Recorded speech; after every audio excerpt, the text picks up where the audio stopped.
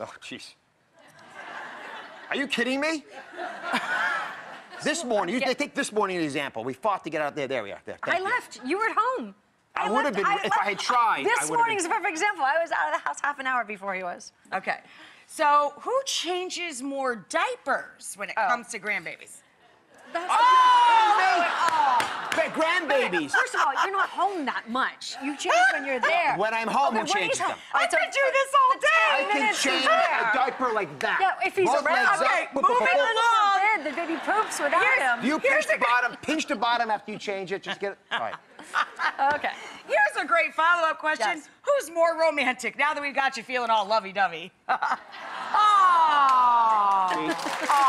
Always excites me.